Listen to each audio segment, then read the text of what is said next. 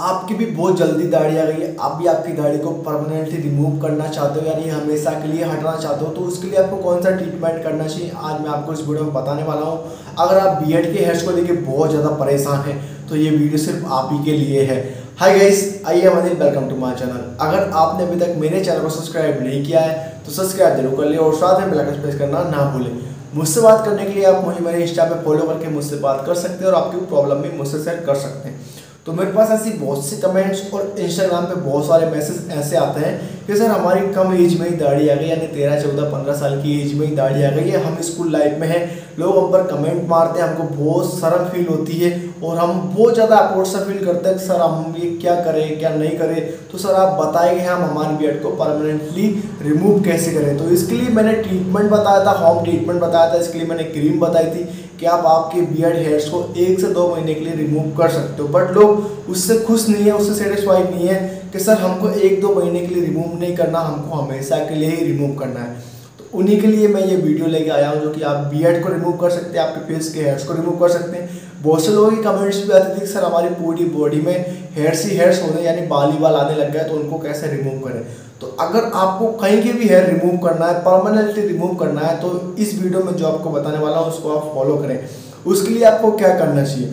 उसके लिए आता है लेज़र हेयर रिमूवल जो कि मार्केट में या अमेजोन फ्लिपकार्ट आसानी से मिल जाता है। इसकी कॉस्ट काफ़ी ज़्यादा होती है। ये लेज़र आपकी बियर्ड हेयर्स आपके अनवांटेड हेयर्स आपकी पूरी बॉडी के हेयर्स को रिमूव करने के लिए बहुत ज़्यादा इफ़ेक्टिव है। और आपने अगर अभी तक इसका यूज़ नहीं किया, आप अगर बियर्ड को लेकर परेशान हो, बालों को लेकर परेशान हो तो आप इसका यूज़ ज़रूर करें। इसका यूज़ कैसे करना होता है? इसका यूज़ आप जैसे आपके हेयर्स पर इसका यूज़ करते हो। ये यूज़ करने से आपके बियड के हेयर्स यानी जो आपके दाढ़ी के बाल रहता है, ये अंदर जाकर उस जड़ को ख़त्म कर देता है, जिससे आपकी दाढ़ी दोबारा नहीं उगती बहुत से लोगों की 10-5 परसेंट लोगों की दाढ़ी दोबारा होना स्टार्ट हो जाती बट वो सही से नहीं आती।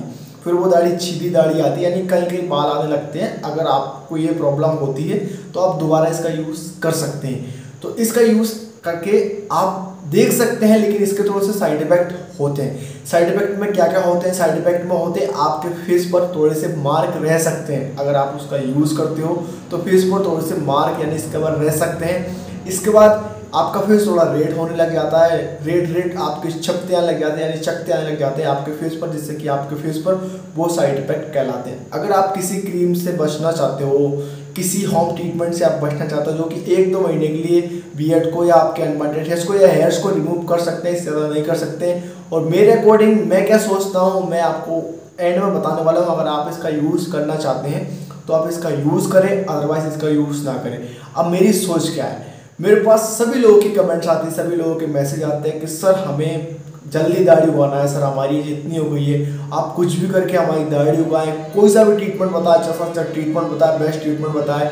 और बहुत से लोग ये बोलते हैं सर, हमारी दाढ़ी जल्दी आ गई तो हमको इसको रिमूव करना है। तो देखो, दोनों टाइप के लोग हैं। अगर आप इसको देखो तो एक के हैं, एक के नहीं है। एक उगाना चाहता है, एक रिमूव करना चाहता है। तो मेरे अकॉर्डिंग अगर आप बॉयस हो आगे चल के आप मैन ज़रूर बनोगे, आपको पता है, आप पुरुष बनोगे, आगे चल के अभी बच्चे हो तो। तो आपको उसके अकॉर्डिंग सोचना चाहिए। अभी मैं हूँ, अगर मैं मेरी बीएड को रिमूव कर लेता तो इस टाइम पे मेरी बीएड बिल्कुल भी नहीं आती, मैं चाहे कोई सा भी ट्रीटमेंट करता। फिर मेरा जो बीएड लुक है, आप नहीं देख पाते तो इसी कंडीशन में एक एडवांटेज आपको मिलता है। अगर आपका क्लीन फेस है वो लुक तो आपके ऑलरेडी है। आप उस लुक को कैसे भी कैरी कर सकते हैं। बट अगर आपके बियड हो तो आप बियड स्टाइल बियड लुक तरह तरह के डिफरेंट लुक आप कर सकते हैं जो कि आपको और ज़्यादा अट्रैक्टिव बनाते हैं। आपकी मसल्स आपका पूरा जो लुक है, वो अलग ही बेस पर चला जाता है अगर आपकी बियड है तो। तो मेरे अकॉर्डिंग आपको ऐसा नहीं करना चाहिए, आपके बियड हेयर्स को हमेशा के लिए रिमूव नहीं करना चाहिए। अगर आपके ये माइंड में चल रहा है, लोग आपकी इंसल्ट करते हैं, लोग आपको कुछ कुछ बोलते हैं, आपको, आपके टीचर कुछ बोलते हैं या कोई भी लोग कुछ बोलते हैं तो उसके लिए आप थोड़ा सा पेशेंस रखें कि हाँ थोड़ा सब्र रखें हाँ यार, जैसे बोल रहे हैं, लोग बोल रहे थे बट आगे चल के मुझे बहुत ज़्यादा एडवांटेज मिलेगा, आपकी गाड़ी काफ़ी तेज़ी से ग्रोथ करेगी जब आपकी एज अठारह से ऊपर हो जाएगी तो। मेरे अकॉर्डिंग जो लेज़र आती है, उसका यूज़ नहीं करना चाहिए हेयर रिमूवल के लिए। तो मेरा सिर्फ़ यही मोटिव था और मेरी जो लोग कमेंट मारते हैं, लोग कमेंट करते हैं तो मैं उसके बेस पर ज़रूर एक वीडियो बनाता हूँ। तो मेरे को ये कमेंट थोड़ी अच्छी लगी।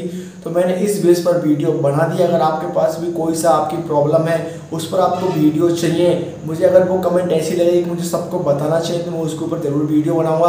तो उम्मीद करता हूँ मेरे वीडियो आपको अच्छा लगा होगा। इस वीडियो को लाइक करें, कमेंट करें शेयर करें, मेरे चैनल को सब्सक्राइब ज़रूर करें। Thank you watching my video see again